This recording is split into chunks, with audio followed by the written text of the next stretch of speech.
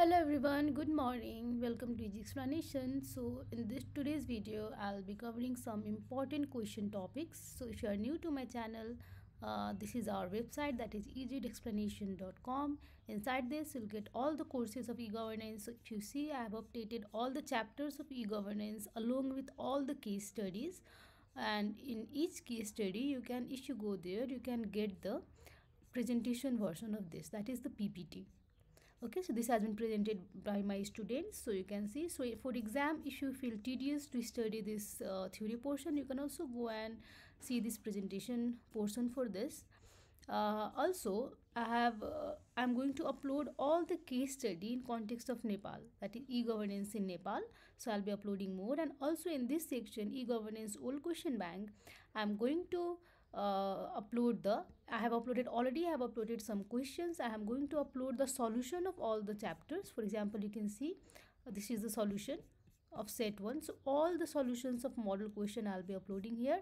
And here i'll be uploading the old question from 2070 uh, to 2080 the question of e-governance. So you can uh, go and refer this. And in today's video i'll be covering uh, chapter wise questions okay? Important question for exam for upcoming exam.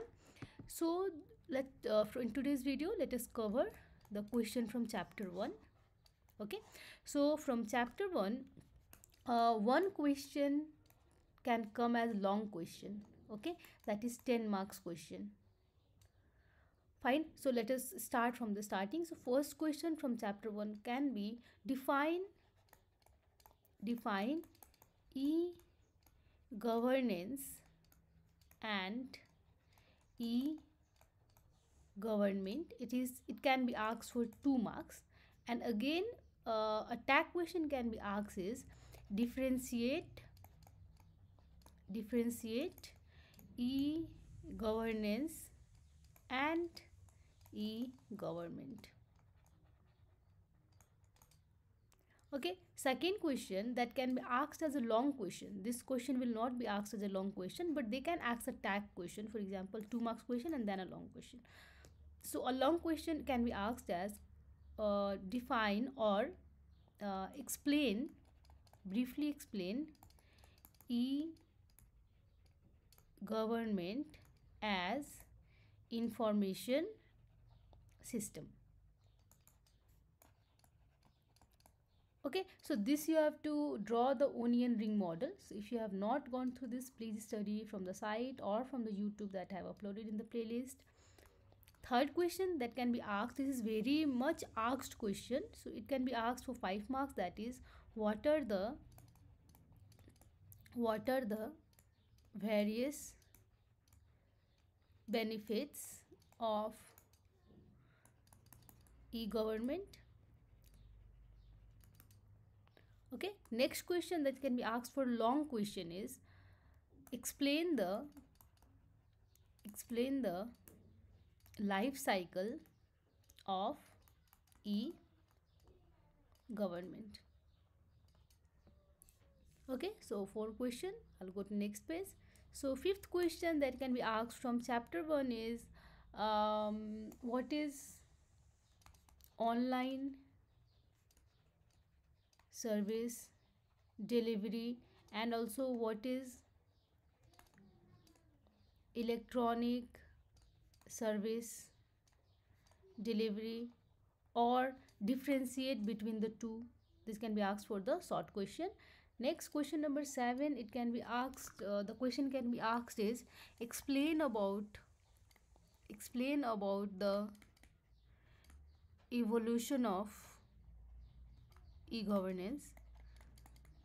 Okay so this topic i have already uploaded in my site the solution for this. What are the evolution like initially which country initiated for the e-governance and how it grew? So uh, everything has been explained there. Okay also they can ask explain e-governance explain the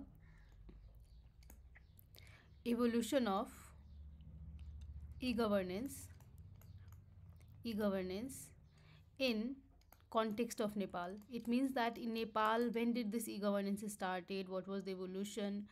Next question they can be uh, that can be asked is, um, what is the what is the present scenario? what is the present scenario of e-government or we can say e-governance in context of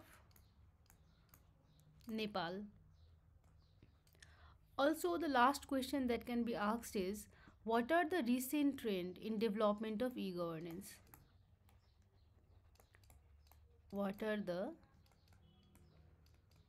recent trends in uh, what are the recent trends in e-governance we can say? So what are the recent trends means? Initially uh, we had technological like ict now it has been developed to blockchain ai machine learning data science everything we can include here data mining various algorithms. So that all comes under what are the recent trends in e-governance okay? So that's all for the um, questions for chapter 1 so uh, stay safe and be healthy. For in next video i'll be covering the important question from chapter 2 thank you